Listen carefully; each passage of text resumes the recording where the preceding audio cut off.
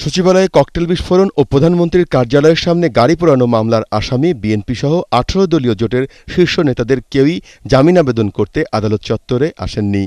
হাইকোর্টের সবগুলো গেটেই বিশেষ পুলিশি পাহারার ব্যবস্থা থাকায় তাদের আইনজীবীরা নিরাপত্তার নামে আদালতে আসামিদের উপস্থিত হতে বাধা সৃষ্টির অভিযোগ তুলে মিছিল বের করে। প্রধান বিচারপতি মোজাম্মেল হোসেন সকালে বিচারপতি এনায়েতুর রহিম ও শেখ জাকির হোসেনের দ্বৈত বেঞ্চকে ফৌজদারি মামলার শুনানির এখতিয়ার দেয়, আবেদন গ্রহণের সুযোগ পায় এ আদালত। তবে বিএনপিপন্থী আইনজীবীরা প্রায় দুই ঘণ্টা বৈঠক করে আবেদনের শুনানিতে আপাতত অংশ না নেওয়ার সিদ্ধান্ত নেন।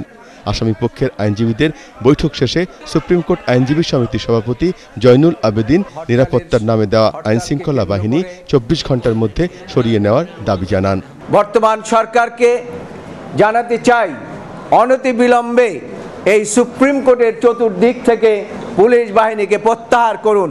আগামী চব্বিশ ঘণ্টার মধ্যে আপনারা অবশ্যই এই চতুর্দিকের গেট থেকে ক্লায়েন্ট আসার প্রতিবন্ধকতার সৃষ্টি যে করেছেন, এটাকে প্রত্যাহার করুন। অন্যথায় সারা দেশের আইনজীবীরা ঐক্যবদ্ধভাবে এর বিরুদ্ধে আন্দোলন করবে।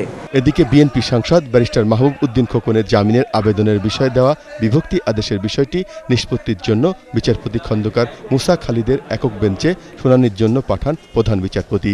বিকেলে ওই আদালত খোকনের জামিন আবেদনের বিষয়ে আগামী নয় মের মধ্যে নিম্ন আদালতে হাজির হবার আদেশের সাথে একমত পোষণ করেন। আরিফ হোসেন এটিএন বাংলা ঢাকা।